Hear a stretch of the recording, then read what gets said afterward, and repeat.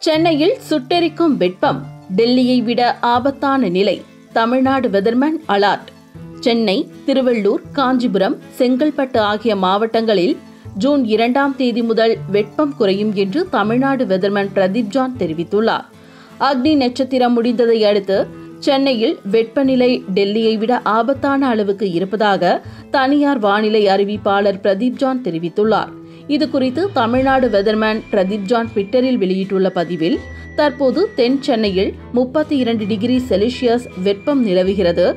கிழக்கு கடற்கரை சாலையில் வெப்பநிலை முப்பத்தி எட்டு டிகிரி செல்சியஸாகவும் காற்றின் ஈரப்பதம் அறுபத்தி ஒன்பது சதவீதமாகவும் உள்ளது.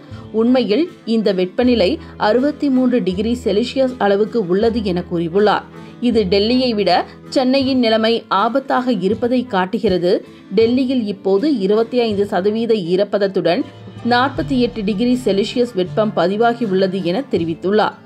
முன்னதாக சென்னை திருவள்ளூர் காஞ்சிபுரம் செங்கல்பட்டு ஆகிய நான்கு மாவட்டங்களில் ஜூன் இரண்டாம் தேதி முதல் வெப்பம் குறையும் என்றும் ஜூன் ஒன்றாம் தேதி வரை அதிக வெப்பமாக இருக்கும் என கணித்துள்ளார். இதனிடையே தென்மேற்கு பருவமழை கேரளாவில் இன்று தொடங்கிவிட்டதாக இந்திய வானிலை ஆய்வு மையம் அறிவித்துள்ளது.